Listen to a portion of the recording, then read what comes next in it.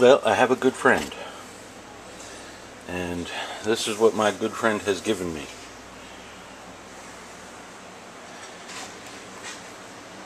That box is 16 by 13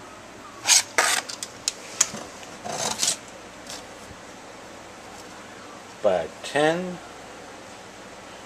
16 13 by 10 and it is full of peaches.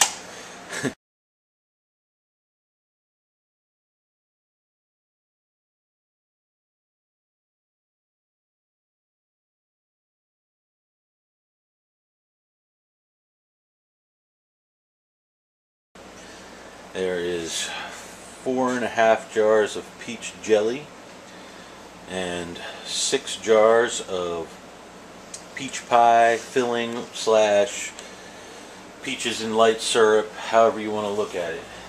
And it is not even close to using all, I think I used about maybe a quarter of the peaches I had.